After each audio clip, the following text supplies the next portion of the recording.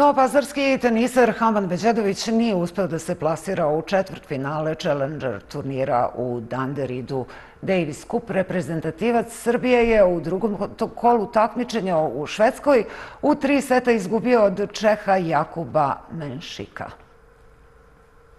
Peti nosilac i 110 igrač sveta Hamad Međedović uzeo je prvi set posle brejkova u četvrtom i desetom gemu, pa ga nije koštao gubitak početnog udarca u devetom gemu. Novopazarac je u drugom setu oduzeo servis Jakubu Menšiku i poveo se 5-3, da bi u naredna dva gema propustio po jednu meč loptu, a potom posustao u taj brejku. Menšik, koji je 152. na ATP listi, posle izjednačenja na 1-1 u setovima, stigo je do prednosti od 3-0 u odlučujućem delu susreta, ali je Međedović, neutralisavši tri meč lopte, došao do 6-6. Čeh je u novom taj brejku iskoristio tek petu priliku za triumf, dok je Međedović bio neuspešan pri voćstvu od 8-7. Meč osmine finala trajao je 3 časa i 9 minuta, za kraj njih 1-2 u setovima, 6-4, 6-7 u taj brejku 2-7 i opet 6-7 u taj brejku 8-10.